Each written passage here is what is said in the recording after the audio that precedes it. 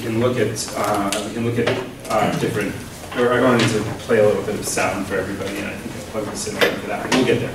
Um, the exam tomorrow covers everything through last Thursday and like the first few minutes of class on Friday. Uh, when I was uh, before I got to talking about information theory, we were still talking about um, about sensory systems um, and reorganization of sensory systems and the Barnell studies. Uh, so um, Megan and Amanda and I are all available over email for the next uh, day or so as you're getting ready for the exam. If any last minute questions come up. For today, um, we're going to um, probably get through the next three bullet points, um, possibly a little bit into the fourth one here, um, thinking about information and information theory. Um, and so we'll be talking, um, returning to the idea of sensory systems and labeled lines, which we talked about way back in Unit 1. Um, by the way, in case anybody missed the announcement last class period, the final exam is kind of the only other major exam you have left, and that's open books and open notes. Um, there's two parts to the final, um, an in-class hour and a half part, and a take-home part that you have two hours for. Um, and I'll, we'll have more detail about that coming up. Um, but uh, so, so we're bringing this all together, and the final exam being cumulative. Um, I certainly hope that, that the Unit 1 stuff you'll have time to review and, um, and be ready to connect it up with what we're talking about. So we'll be talking about labeled lines and sensory coding, um, and then we'll be talking about the basic idea of what do we mean by encoding and decoding in the first place, um, and then um, coming back to some of the ideas about decoding and encoding, and think about um, uh, these things called, uh, this, uh, this formula called Bayes' uh, theorem, which helps to give us an idea of how we can, of how picking up some new source of information, how if you get some new source of information, that will help you to update uh, how, how likely you think something is. So if something seems 50-50 likely um, beforehand, um, and then you get some new piece of information, how sure can you be afterwards um, about that about that something? So that's what we'll be getting into uh, in, into um, with with Bayes' theorem. Um, okay, and so just to kind of review, we've got these things called receptive fields, which are not actually physical parts of a neuron, but they're a relationship between the neuron and the outside world for sensory neurons. Um, and these and that relationship represents what sorts of things out in the world um, will drive that sensory neuron to fire, uh, and different. Uh, and we talked about this in the context of somatosensory system, but you can equally equally well think of it in terms of the visual system as points of light, or the auditory system as frequencies, um, and all of these things um, um, represent, again, sort of this relationship between things out in the world and things in your body, um, that, and neurons that, that um, creates um, and, and triggers those neurons to fire action potentials. Your brain knows, because of the idea of these sort of labeled lines, essentially means that your brain already knows um, from early childhood experience and also from sort of the, the, the, uh, the way your body is, is automatically wired up uh, genetically, um, that certain things out in the world will get certain inputs to fire action potential, um, and other things out in the world will get other inputs to fire action potentials. Um, and there are also things out in the world that get nothing to fire action potentials. So um, there's plenty of ultraviolet uh, and, and, infrared radiation out there. There are magnetic fields out in the world. Um, there are uh, there are high frequency sounds that, I, that my ear is insensitive to, and so there's a lot of physical stuff out there that I just don't know about. Um, I can get some equipment that will take that and convert it into a visual display or change the pitches of sounds or whatever so that I can learn about what's out in the world. Um, but but what I get coming in is not high, is not sounds that are on ultra high frequency or um, or uh, uh, you know UV or microwave radiation. Um, I'm only aware of some of the things that are out there in the world. And uh, on your skin, there are a variety of different receptors um, that, have, that are sensitive to different types of touch, even in the same area on your skin. And um, we've talked in the first unit about the Pacinian corpuscle, which is deep in the skin and sensitive to vibration. Um, if you touch and keep touching, the Pacinian corpuscle is, ignores that. Um, something needs to be changing constantly in order for the Pacinian corpuscle to respond. Um, and then kind of the opposite of the Pacinian corpuscle is the, Mer is the Merkel disc. Um, and these are shallow, they're sensitive to light touch, and they do not adapt um, or, or turn off with sustained stimuli, but instead they just, if I touch something, keep touching it. Those receptors will keep firing as long as I'm touching the object, um, and they will, um, and they will uh, respond differently. Uh, and those, sorry, they'll respond continuously. Um, my brain might stop paying attention to them after a period of time because, um, because it doesn't need to know that anymore. Uh, oops, that was not the button I wanted to push. Uh, okay, and so we've got, um, uh, and so if you have a constant stimulus, some receptors are slowly adapting. Um, they respond initially and keep responding the whole time. This is like our Merkel disc, and others are rapidly adapting. They only respond to the change that happens. If the stimulus is constantly changing, vibrating stimulus, then our Pacinian corpuscle rapidly adapting one will going. Uh, and there are different types of receptors which are outlined in this, um, in, in this figure from the book. Um, I actually prefer to think of them in terms of depth rather than, um, than uh, uh, size of receptor field. Um, but, uh, but again, the ones that you need to know about are the sort of these two, the Merkel disc and the Pacinian corpuscles. There are, there are also shallow, rapidly adapting ones that only respond to changes, and deep, um, uh, long, uh, slowly adapting ones that respond to deep pressure and sustained touch. Um, but those are, um, but, but those are, you're not, I'm not going to test you on these, um, especially because Merkel and Meissner get pretty confusing with each other. Um, so, so you just need to know those, and then for the final, you should also know about, um, about pain. Um, one other thing that I wanted to just mention um, is, uh, especially with the final exam coming up and bringing together ideas, we talked in the first unit about how, um, how pain, there's sort of two types of pain, there's fast pain and slow pain. Um, it's easy to confuse the fact that our uh, Merkel discs are slowly adapting with the slow, unmyelinated pain fibers, um, but actually these and these and all of these are myelinated, uh, meaning they all have, so when those action potentials fire, they take a couple milliseconds to get to your brain instead of a full second. Um, that's in contrast to some pain nerve endings, which can take a full second to get to your brain. Um, and so um, the adaptation and the speed of action potentials going from out in the skin to your brain are two independent things of each other. Um, okay, so that's, that's sort of like the quick overview of labeled lines. What questions do people have about that?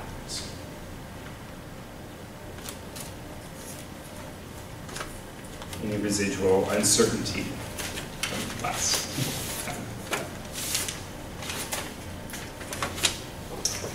Okay, and so at the very end of class last time, I, I mentioned, um, well, actually, I guess we'll, we'll, hold off on that for a second, because because uh, the, the, the challenge, the, when we get to Bayesian probability, we'll start talking about um, some of the challenges with, with decoding information. Um, but, uh, but for right now, I just kind of want to give, um, to talk about a general schematic for how we um, can think about two different processes that the sensory, that the nervous system has to do um, in order to understand what's out there in the world. Um, and we'll add a little bit to this schematic in a couple minutes. But, so the general schematic that we'll be returning to a few times over the course of the next week is um, kind of a relationship, and it's, it's a very high level conceptualization of this relationship between the world out there and our perceptions of it and our ability to figure out what's out there in the world. So sensory systems' uh, job is to figure out what's out there in the world.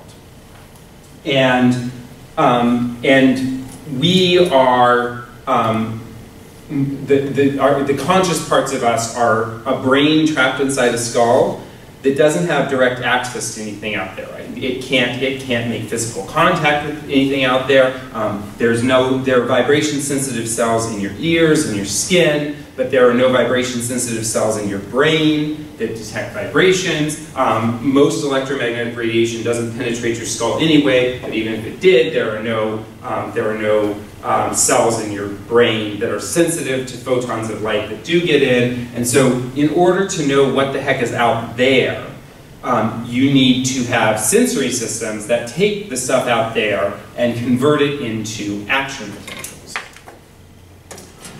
And so what we've got is this external world. If anyone's taking a philosophy class, you may or may not be debating about whether there is an external world in the philosophy class. We're going to skip that debate. Um, I, I thoroughly enjoy those debates at times, but not right now. Um, and so we've got this external world, and in this external world, there are all of these different stimuli. So we've got stimulus one might be um, some, some sound that's in the external world. And stimulus two might be, um, maybe it might be a different frequency sound. And stimulus three might be that there's some magnetic field out there. And stimulus four might be um, some yellow photons of light. And on and on and on and on. There's millions upon millions of different things out there in the world that we could potentially be sensitive to. Um, we're not going to be able to detect all of them, but we will be able to detect some of them. And so this external world gets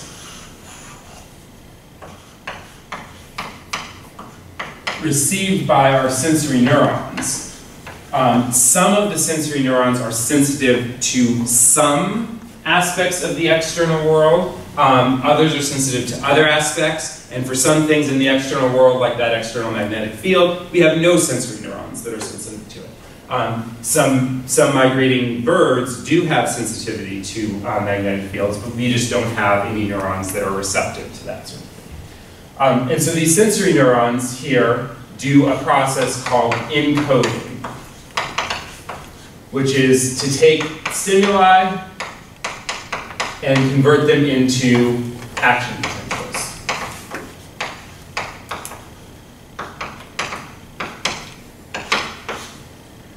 And then once that process has been completed, we now have in our sensory uh, in our sensory areas of our brain, we now have no longer stimuli, but we have what we call responses. And these responses might be neuron number one's response might be nothing that's out there in the world that it cares about is there, so it's not firing. Neuron number two might be sensitive to one of those frequencies of sound, so maybe it's firing.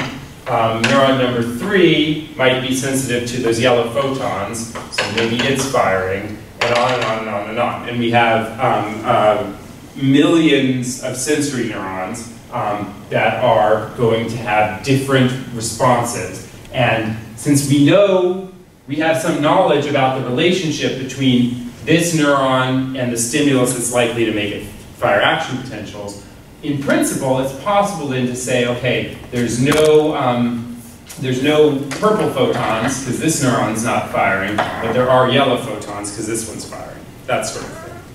Um, and, may, and, of course, these sensory neurons are more than just sensitive to photons. They're sensitive to photons in a particular area in the, in, in, uh, in the visual field, um, or to touch not just vibration anywhere, but touch on a particular part of the body. And so between all of these millions of neurons, they've sort of captured all of the things that we're sensitive um, so yeah, so that's so that is the process of encoding, and the first job of the sensory system is to take stuff out in the world and convert it into some action potentials so that the rest of the brain can have some knowledge about what's out there in the world. Okay, so what questions do people have about that so far? The idea of encoding.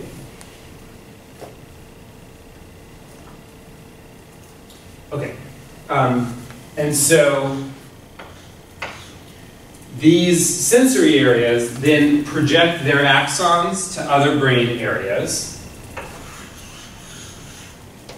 Um, and these other brain areas then um, sort of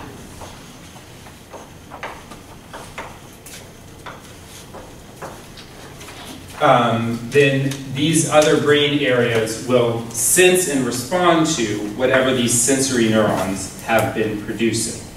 Um, and so, uh, so for example, um, if our sensory neurons, so, so these other brain areas understand and know the representation and the connection between um, these sensory areas and the external world, and so they begin a process called classifying, um, which is, uh, or decoding, um, which is now they're beginning to sort of um, create a, uh, a relationship or, or, um, or understand a relationship between what's out there in the world and what we're actually seeing or um, coming in from our sensory neurons at this moment in time. So, um, Uh, okay, so the rest of the brain is sort of, its job is to classify these sensory, these sensory responses. Um, and then this, and then in addition to sort of this initial classification, there is some internal processing. And this internal processing um, is going to um, is is going to kind of um, finish the decoding, and we'll add a little bit more about what this internal processing is doing in a little bit. But this internal processing is sort of finishing up the job of decoding, and then, um, and then finally, we have some uh, what we call a perception, but um, what really amounts to is um, is a sort of best guess about the external world. Um, and this best guess about the external world is now what we call a list of estimated stimuli. So our, es our guess of what stimulus one is, our guess, uh, our guess of, uh, oops, um, of estimated of stimulus two, um, our guess of the third thing, and so on. And so um, all of the things that our brain thinks are out there um, are our best guesses about what's really out there. Um, if we think something's out there that's not, then we're having a hallucination, which is a normal thing to have in a lot of contexts. Um, uh, we, do it, um, we do it every night when we're unconscious. Um, and a lot of times we also, um, during the day, will um, will have mild um, sensations that come up where, where you know it feels like uh, it feel it. So does anyone ever uh, who, who, carries their phone around in their pocket with them? Does everyone vibrate? So do you ever sometimes like like touch it and you like you feel like there's something there. So so somehow either a sensory neuron has misfired or a higher brain area has misfired, and it's created the, the, the estimate that your brain is giving you is that there's is that your phone's vibrating. And then you go touch it and you feel it with your hand, you get you get more information, your hand doesn't feel the vibration, and so it's like, okay, okay, never mind, that was just a misfire. Um, and so that is so so that's a perception. Um, it's a hallucination because it's not something that's actually happening out in the world, but it's not abnormal. Um, there are, of course, situations where um, hallucinations are abnormal in some neuropsychiatric disorders, um, but, um, but all of us will have some sorts of sensory hallucinations at some points um, throughout a day, just sort of in a typical day. And so this is the idea, and so the, the whole goal of this is to recreate as closely as possible what's out there in the external. Yeah? I don't, I guess I don't understand why there's so much estimation involved? Is it because of how many sensory neurons we have, or is it like the speed of this process? It's because it's because your sensory system kind of is not great at what it does, and we'll that's that's we'll get to that in just a second. But um, but yeah, um, so yeah, we'll, we'll, we'll kind of take a simple example where that's not an issue, and then move on to a slightly more difficult example where there is an issue. Um, and in the more difficult example, then we'll have to, like, also, that's also going to lead into what we're going to talk about with Bayes probability. Um, yeah? so, uh, but yeah, that's, that's a great question, and we'll, and we'll get right back to that in, in just a minute. Um, okay, so, um, so yeah, and our, so, so, so for the first example for this, we'll just um, have, we'll, we'll talk about a really simple case um, where there, um, where, where we're going to imagine that um, our sensory, our sensory system is perfect at its job. And so let's say um, we're playing some game where I've got my, I've got, I've got my eyes blindfolded. Um, in addition to the, you know, uh, to, to um, uh, you know, playing with visual hallucinations and whatever else you want to do at your neuroscience party, play this one. Although it's kind of a silly game, but you know, whatever. So, um, so we're playing a game with my eyes blindfolded, and the game is that I've got these two fingers sticking up like this, and you are either going to do nothing, touch neither finger, or you'll touch my middle finger, or you'll touch my pointer finger, or you'll touch both. Um, so, so that means there are four possible things that could happen. Um, uh, nothing, this one, this one, or both of them. So how many bits of uncertainty is that? Two. Two bits, right? So four possibilities. They're all equally, assume they're all equally likely. Um, if, there, if there's some un uneven likelihood, then that changes it. But yes, yeah, so four possibilities. So there's two bits of uncertainty. Okay, and so then I'm sitting here on this brain and I'm blindfolded so I don't have any light coming in, um, but I have receptive fields and neurons that have receptive fields in those fingers. And so what happens is the, the neuron that is sensitive to touch on my middle finger starts vibrating, uh, starts firing action potential, sorry. The neuron that's sensitive to touch on my pointer finger doesn't. So um, pointer neuron doing that, um, middle finger neuron fire So what's going on? You're in this brain, I've got to make a guess about what's out there in the world. What's likely going on out there? Touch, touching the middle finger, right, great. So, and now we have, we, it, it, we have no uncertainty left. Assuming these are perfect encoders, which they're not, and we'll come to that in a minute, um, but assuming these are perfect encoders, we are now left with um, with zero uncertainty um, because we know that you are um, that um, it's uh, yes touching the middle, no pointer, um, and that is now the final answer. So we have no more uncertainty about what's left. Um, so that's our our S residual is zero. Um, because uh, all of the probabilities are either 1 and the log of 1 is 0, or 0 and 0 times the log of anything, even 0 times the log of 0 is 0. Um, and, so, uh, and so we're left with, if we add up all the possibilities, we're left with uh, 0, 0 plus 0 plus 0 plus 0, negative that is 0, so yeah, so that's where we're left. Um, so, okay, so now our perfect sensory system has solved this problem, and we've created an estimate of what's out there that, um, unless something went wrong, which we're assuming it didn't, everything is good, and we've got a, and we've got a solution. Um, okay, so eraser. All right, so we'll do one more example. It's even simpler. Um, so again, uh, fingers, eyes closed. This time you're either going to touch his finger or not, just my pointer. So we've got two possibilities. Touch or no touch. And, the, and so um, at some moment in time, my pointer finger fires an action potential. Um, and so what's my guess going to be about what's out there?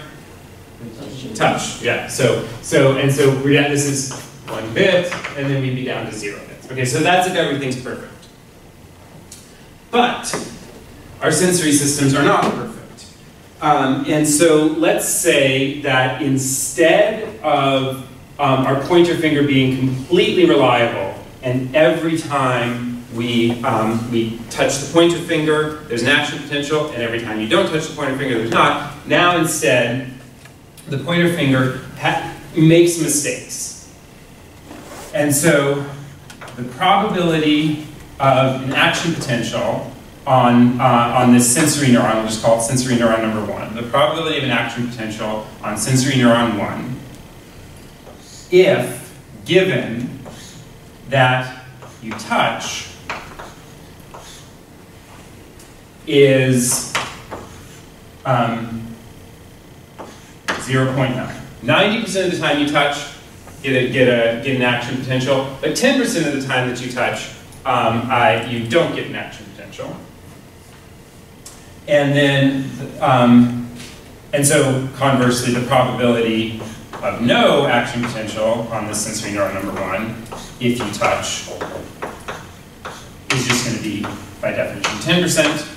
Right? Uh, so if you touch, one of those two things is happening, and they have to add up to one in their probabilities. Um, okay, and then, but it also, this sensory neuron is sort of jumpy and will touch, well, sorry, will fire action potentials when nobody touches it um, some proportion of the time as well. And so the probability, right now let's just sort of make everything symmetrical. So the probability of an action potential on sensory neuron 1, if there's no touch, is 10% probability of an action potential on sensory neuron 1 given no touch is 90%. So um, what this means is the thing after the line is uh, is, is the possible event out in, uh, is, the, is the event out in the world and either it happened or it didn't and so we sort of as, as, as an omniscient viewer looking at the situation you would know whether it was touched or not and so that is stuff that, that externally you have knowledge of although the, the brain doesn't have certainty about um, and then um, the brain does know about the action potential or not um, so what the brain is getting is that, and the event that happened in the world that either led to it or didn't is that. Um, okay, and so now we still have two possibilities. Still have one bit of uncertainty to start with. Either you're touching my finger or you're not. But now I get an action potential. So what would be my best guess about what's out in the world? A touch. Yeah, best guess is a touch. Am I completely certain of it? No, not completely certain of it. Um, and, uh, and I think in this situation, because I kept everything symmetrical, it works out that um, the probability of a touch, so me, as a, so me as a brain, I'm trying to figure out what the probability of a touch is. What I know is that there's an action potential on sensory neuron number one, and in this situation, that sort of intuitively, your intuition is probably that that's correct, that that's a 90% chance because this neuron is 90% reliable. Um, and in fact, that would be that would be correct the probability of a touch. If the if the brain find here's an action potential, it'd be 90% of this, 90% chance of that. And then you could also, so then you could also calculate um, the, um, the the residual uncertainty. Um, and actually, rather than me do that, um, let's take like three minutes in a group to calculate the residual uncertainty here. So our S prior is one bit. And then the question is, what's our residual uncertainty? And then also the information gained. So let's take a couple minutes to try and work that out in a group, and then we'll come back together, just kind of review from last time. Oh, and while you're doing that, also get out your homeworks, and, and we'll come around and collect those.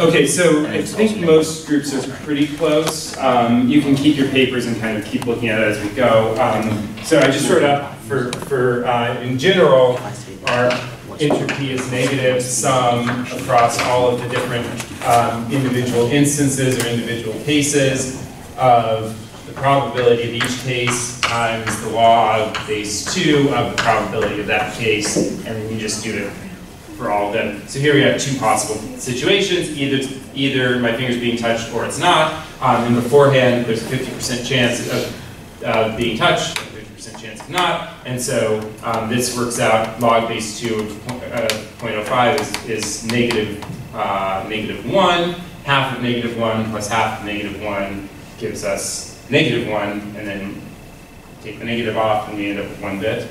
Um, so over here, then we're going to have negative 0.9 times log 2 of 0.9 plus 0.1 times log 2 of 0.1. Um, and so uh, what, what does that work out to? I didn't actually calculate it before class. Uh, 0.489.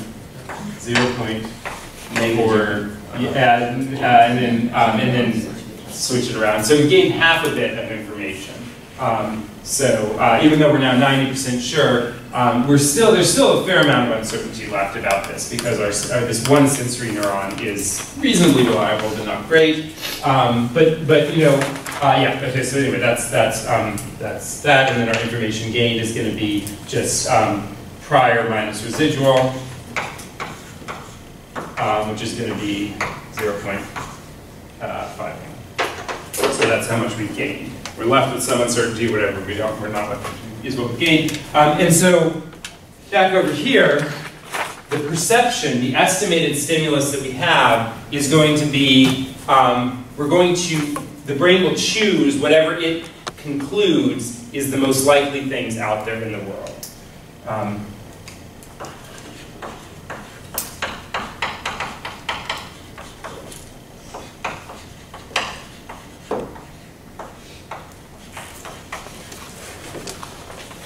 So the most likely thing that is out there that caused that pattern of action potentials that the brain gets coming in is what it will deduce is what's really out there.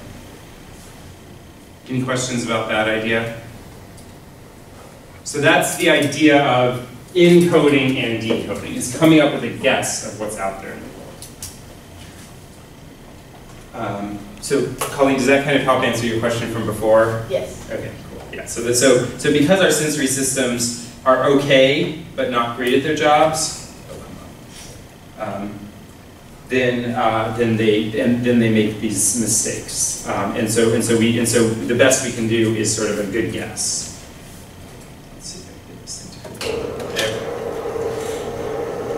Okay.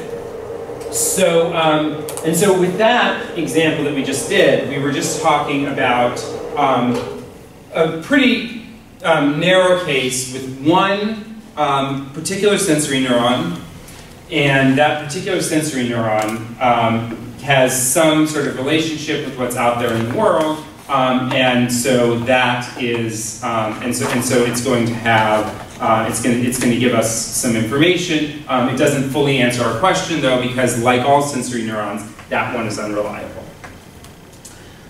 And we talked a little bit in the language unit, and we'll um, listen to an example in just a minute about that. Um, but because our sensory systems are unreliable, we need to get all of the possible clues we can. And so we don't just rely on our sensory systems, uh, what, what, what, our, what one sensory system is saying, but we combine the information from one sensory system with many others to get, um, to get a full picture. Um, that's in a sense what you're doing if your phone vibrates, if you feel like your phone's vibrating, you're talking, you reach your hand to it, is you're not sure if that's, um, if that's a real vib vibration or if some, one of your sensory neurons is firing inappropriately. Um, and so you reach over with your hand to get another sensor over on that phone and see if that other sensor agrees with what's going on. And if it does, then you have a really high likelihood that, that your phone is actually vibrating and you don't have two sensors hallucinating at you at the same time.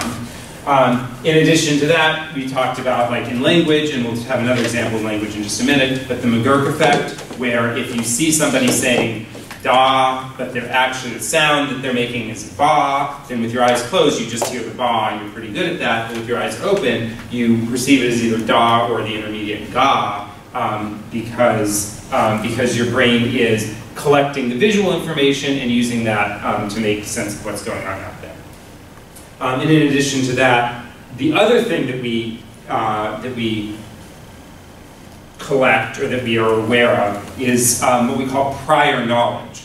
So you come into class, you expect that I'm going to be talking about information theory today, or at least something related to neuroscience, um, and so you have some prior expectation of what you're likely to be hearing about in here. Um, you have a pretty strong expectation that I'm likely to be speaking to you in English, uh, and, um, and so with all of that prior knowledge, you will then um, have a better chance of making sense of what I'm saying if, uh, if you sort of bring that with you and, um, and already have some thoughts about what's going on. Um, you may need to update your, your guesses if I tell you something that's surprising to you, but having some prior knowledge will help you to make sense of most of the stuff that I'm saying. Yeah, sure. So where is this information kept? Is it in the uh, hippocampus? It's, it's really hard to say. I think it's pretty widely distributed throughout the cortex where that sort of prior knowledge is. Um, I mean, uh, some of it's in the hippocampus for sure, um, but there's a lot of it that's elsewhere. And I mean, you also have prior knowledge just about what English is like and the sort of cadence that you expect in an English speaker's voice in general, um, and also the types of phonemes that they'll use and where word breaks occur, which is actually returning to in just a second that.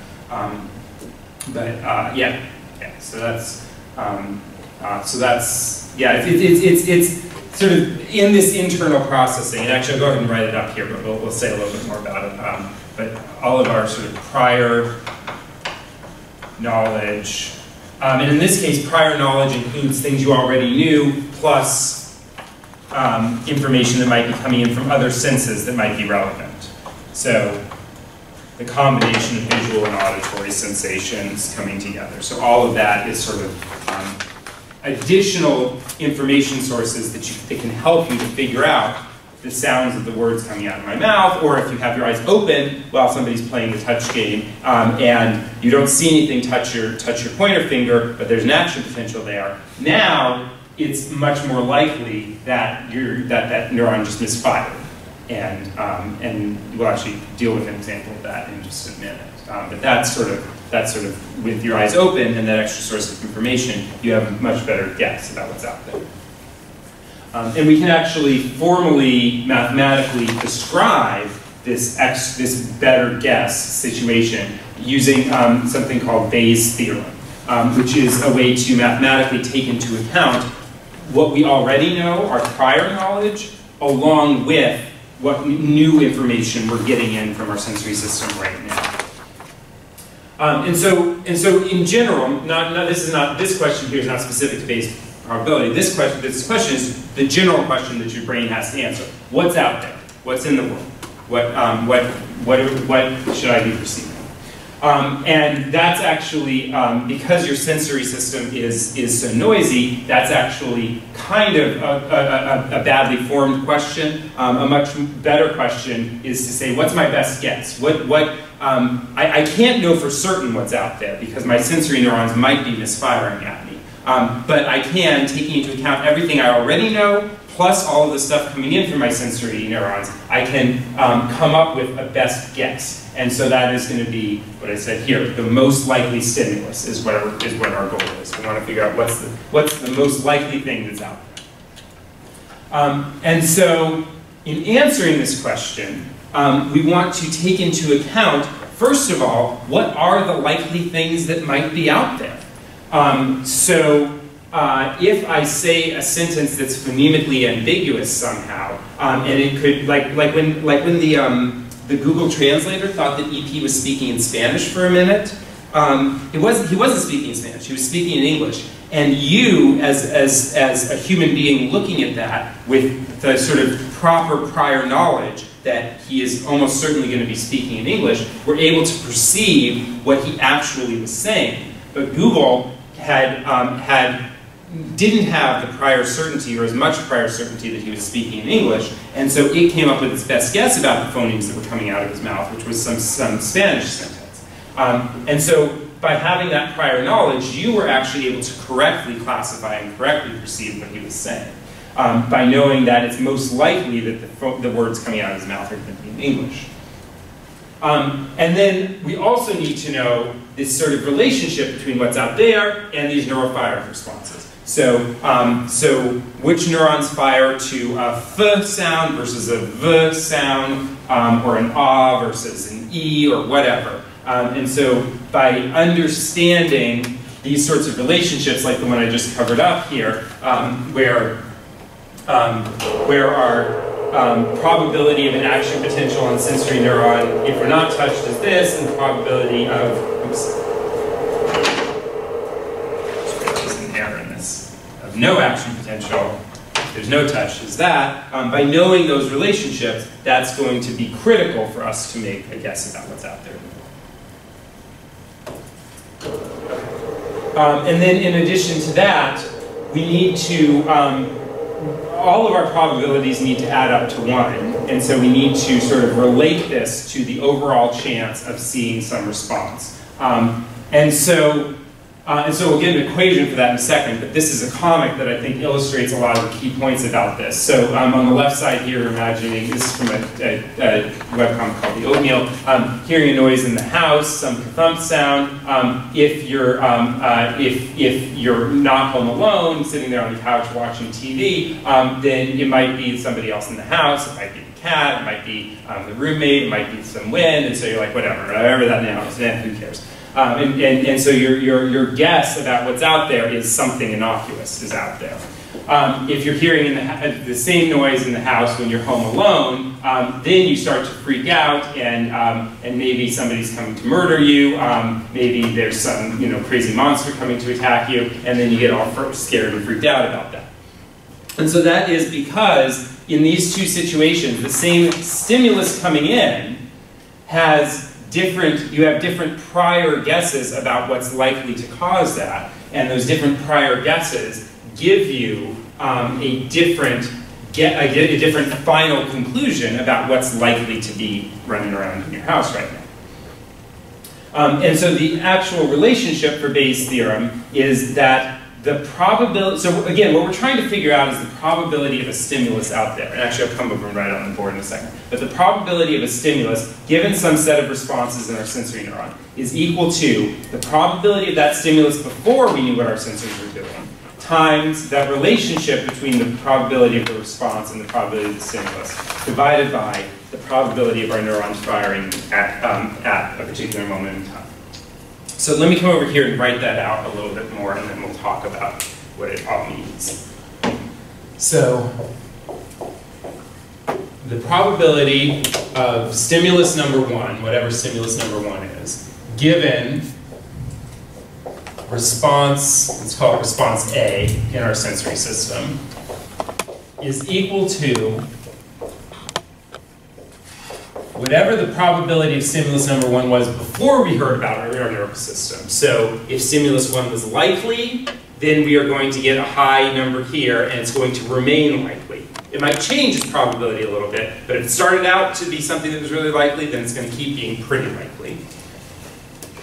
Times the probability of the response in our sensory system given that stimulus out there. So um, if, uh, if our sensor is really reliable at reporting that stimulus, then we're going to give a lot, then, then we're going to say, if, if our sensor is really reliable at reporting the stimulus, then we're going to say there's a good chance that the stimulus is out there once our sensor went off. Um, and then divided by the, the overall prior probability of the response. Um, and this is a term that's really exists so that all of the probabilities add up to one. It's a way to re, sort of renormalize everything so that all the probabilities add up to one again. Okay, so um, one of the classic examples um, of Bayes' theorem in action is um, is uh, from, from medicine and sort of uh, ideas of particular medical tests. Um, so imagine instead of trying to figure out whether we have some stimulus out there and given some set of responses, we're trying to figure out if we have a particular disease given some, um, given some uh, new test result that we've gotten.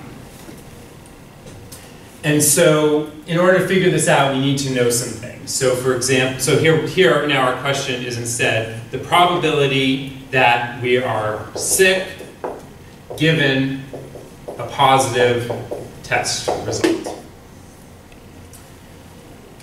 Um, and so maybe our test has a 90% accuracy.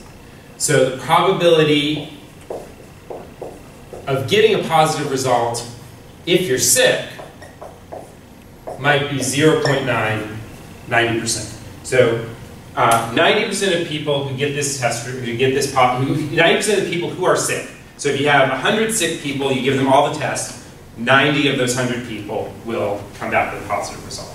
So that's actually kind of cruddy for a test, but you know, it sounds, it sounds like a test.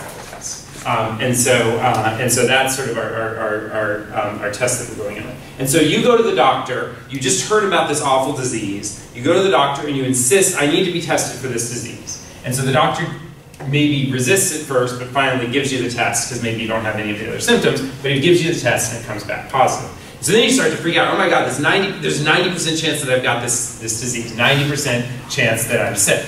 Um, but the other thing that you need to take into account is the probability that you were sick before the test result. So this is not given any new information. This is after our new information. This is before our new information.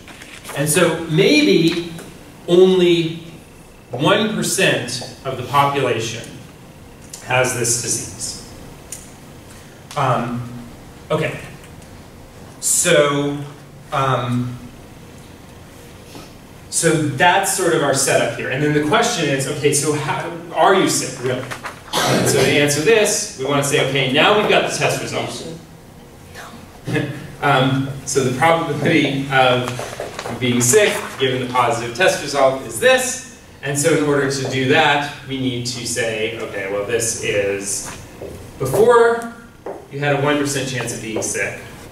Now you've got a positive test result, which is the scary thing, and that increases your probability by that. And then um, the probability of a positive test result, um, it ends up being a little hard to work out. Um, it takes an extra couple steps. In, in an exam question, I'm always going to give you the denominator for any, any question that you have to deal with with Bayes' theorem. But in this case, it works out to be somewhere around um, the probability of a positive test result ends up being somewhere around 10%.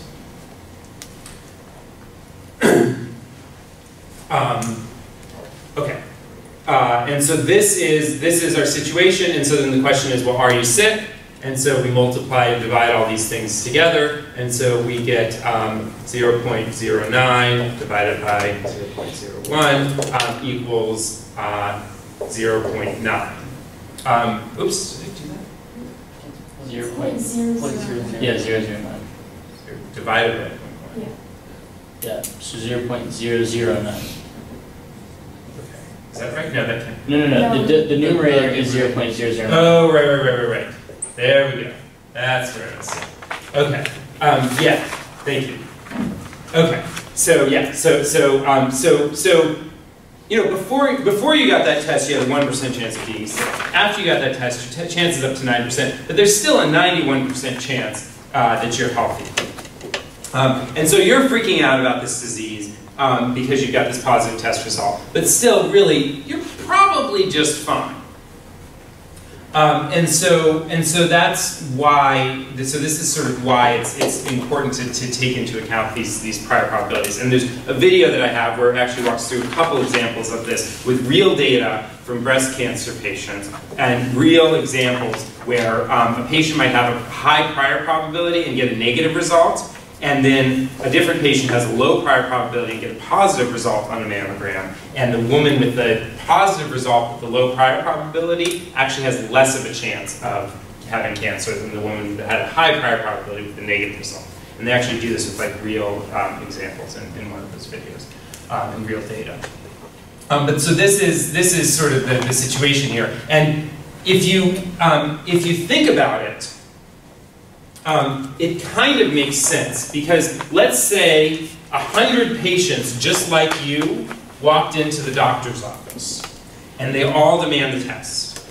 One of those hundred patients has the disease.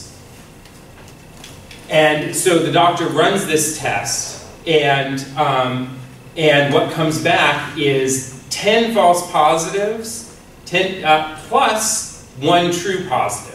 So 11 people get a positive result. And so if you're one of those 11 people, only one of you was sick. And the chances that you are the one that's sick is now higher than it was before that positive result, but is still pretty low. Um, and so it's still a little under 10% chance that you have that disease. I rounded a couple numbers in here for simplicity, but that's sort of the key idea. Okay, so what questions do people have about that? Okay, so, um, so let's go back and do, actually, I'll leave, I'll leave uh, we'll come back over here to do um, uh, a nervous system example of this.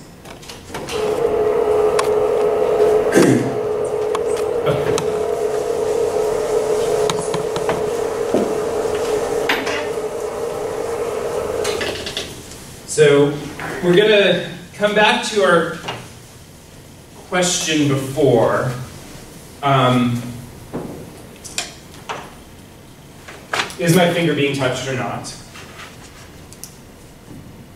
Um, and so the, the, um, we're going to do a slightly different sensory neuron. We're still, if my finger is being touched, if my finger is being touched, the probability of an action potential coming in is 90%.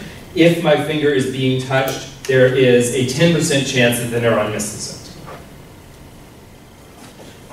Then um, we have our probability of an action potential on sensory neuron number one given no touch.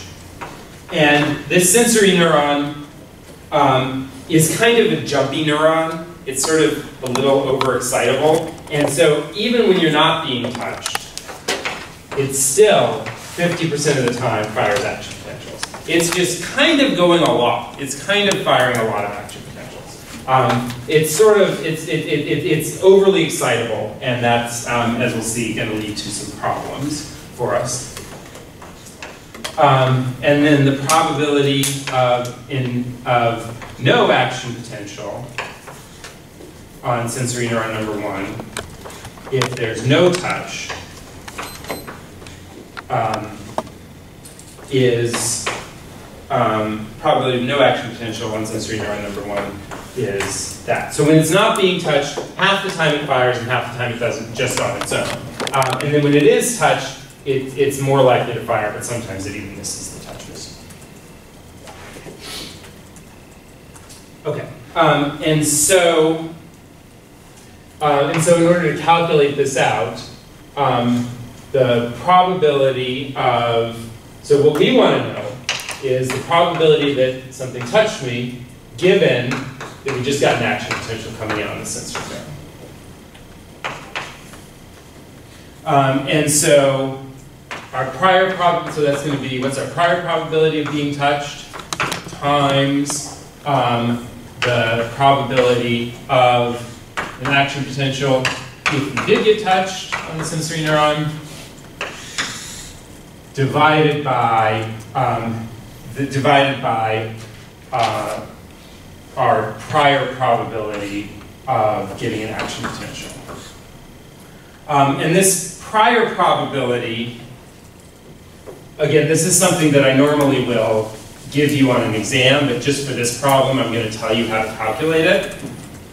Um, so our prior probability is equal to the two different cases. So the probability of an action potential um, if we are uh, if we are touched um, plus the probability of an action potential uh, if there's no touch. Um, and then um, all of that gets multiplied, uh, no, actually, yeah, that's it. So, so just the two, we just add up the probability of an action potential in those two cases. Um, okay, so, uh, so with that, um, the question, there's sort of, uh, the, the, the question is, we got an action potential, what is the chance here? And there's actually two parts. So in question, in part number one, our probability of being touched is 50%, so maybe you got touched, maybe you didn't. And then in part number two, you're pretty sure you get somebody touched you before before um, you even see this. So maybe you saw something come close to your finger and you think it touched, but you couldn't see clearly enough to see for sure if it touched. You see them come close and it looks like it touched. So here you're not sure your eyes are closed. Here you peeked and you're pretty sure you saw them touch. Um, and so the question is, in these two cases, the question is, what is the probability that you really were touched, given um, that you got this action potential on the sensory neuron number one? For both of those two cases. So take a minute to try and work that out, and, um, and Megan and I will be around to help with that as you go.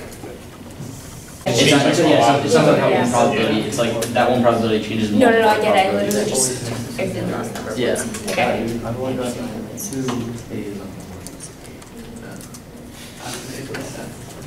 Okay, so it sounds like people are getting close to finishing up here. Uh, So, um, in our first case, where the prior probability of being touched uh, is 50%, um, what is um, now, uh, what's now after we get these action potentials coming in? What's the chance that we got that that touch?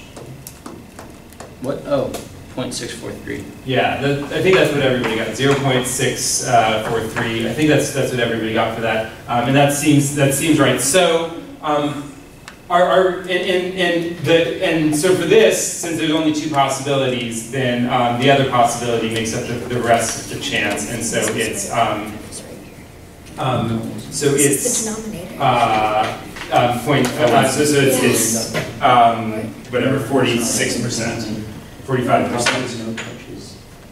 Um, yeah, So, um, It's the opposite of probability. Yeah, I'll go with that, I just did that because of knowledge. Actually, actually, yeah, so, so let's, actually, one more problem to, to go and work out, just for the last couple of minutes, because I ended up choosing the wrong thing. So now, um, let's say your prob, your, let's say one last, one last question to work out, where your probability of getting touched, instead of ninety percent chance, you, you peeked and you're pretty sure you didn't see them touch your finger.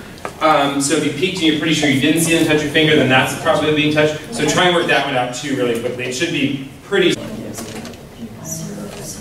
It also might change the program equipment, I think, especially because the arts, it's different, the arts at CMU are like a lot better. Um, okay, so let's, so let's come back together as a group. You can finish up as we talk, but um, so the first, the first, there's sort of three different points that I wanted to make about this. Um, the first point is illustrated by this here, um, which is if you compare this question to the, the first one I gave you, where we had, um, in the first one, it was um, the probability of no action potential with no touch was 0.9, the probability of an action potential with the touch was 0.1.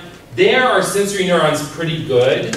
And what was the answer for that? It ended up being like 80 something percent. So, um, so when, when our sensory neuron is pretty good, then we have a pretty good final certainty about, um, about whether we were touched or not. And then all I changed between the question you did earlier and the one you just did for part one was I just made the sensory neuron more jumpy so that it fires action potentials when nothing's going on.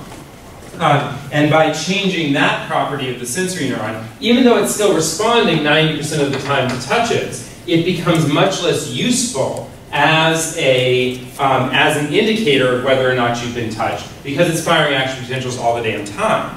Um, and so this sensory neuron is all of a sudden now much less useful to you. Instead of being eh, close to 90% certain that, you, that you're being touched, now you're barely over 50% certain. So that's sort of the first point. Um, the second one here, so with this, it worked out to be what was the probability um, in this case? Point nine four. Yeah, something like that, 0.994. So after feeling the t- after feeling the action potential come into our brain, we're a little bit more sure than we were, but we were already pretty darn sure that we got touched. Um, and so um, and so this is um, something else that we think about in information theory, which is um, redundancy. So this new, this new um, fact that this sensory neuron is firing an action potential is pretty much redundant for us. We already knew that was going to happen. It doesn't give us any new information.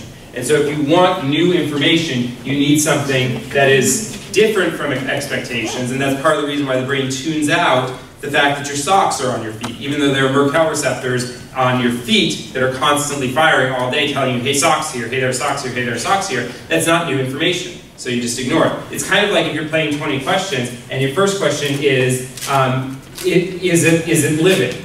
And the person says, no. And then you say, is it not living? And the person says, yes. It's like, well, that was a waste of a question. You already knew that bit of information. Um, okay, and then so down in this last case, what does it work out to be? Zero point zero one eight. Zero, yeah, something like that, 0.18. Um, and so here, our sensory neuron, in part because it's kind of crappy, but actually in large part because we're already pretty darn sure that we're not, that, that, that we're not being touched, um, that sensory neuron isn't going to give us that much. Our prior probability dominates this. Um, and um, and we already were really sure that we're being touched, and so and so the, or you're really sure we're not being touched. We, we saw nothing hit there, um, and so if, if you it's, it's sort of like you know if, if, if you feel if anyone ever feel like there's a bug on your hand or something, if you go look, sometimes you'll just reflexively hit. But if you look and you don't see the bug there, then you're not going to the, the perception goes away because you get that because you have that extra information. Okay, so what questions do people have about that? Okay, so there's one more quick demo that I want to do. Um, so hopefully the sound will work for this. Um, I'm going to play a word that I said in class recently, um, and hopefully you'll. Right. So that was that was my best attempt to isolate that word out of a thing. So I'll play it once more. Right. So what, any guesses about what word I said there? Any sound, any phonemes you could make?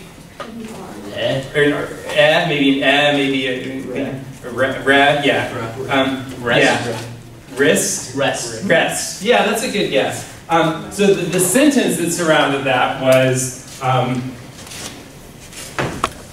uh, was something about, uh, was like, that's not the assignment for now. Right. Right. Right, yeah. Oh, So, no. yeah, and so I'll play the I whole clip in a guessed. In a second here. years. Um, I, the, part of the problem that I have is actually clipping the sound out. So here it's coming up in a couple seconds. Assignment for right now is the assignment for right. So the part of the problem is the right, the t in the right actually ran into the n, so it was like snap, and it was really it was, they were almost run together phonemically, and it was really hard to isolate the t. But in the context of either the sentence or in the context of the class, you know what's coming and you have some prior knowledge, and that allows you to perceive it, and you don't realize that your brain's taking into account prior knowledge. But in fact, your brain really is taking into account this prior knowledge um, in order to build the perception, and that's integral to making perceptions. Um, and like I said before in the language unit, there literally is not enough information in the vibrations coming out, even if your ears are perfect sensors, which they're not. But even if they were, there's not enough information in the sounds coming out of my mouth to make sense of what I'm saying. And that's not a me problem. Well, it could be partial, but it's not totally a me problem. It's a problem of physics, and it's a problem of speech, and it's a problem of how, talk, how fast people talk. Um, and so you need this prior knowledge, and your brain and your brain unconsciously uses it before you even have a perception of what's going on. And so that's kind of the core point of that. Okay, so what last questions do people have about any of that? Okay, so on your way out, be sure to turn in the assignment, and um, the exam is tomorrow. Let me know if you have questions about that. Uh, again, just goes through Friday, the first part.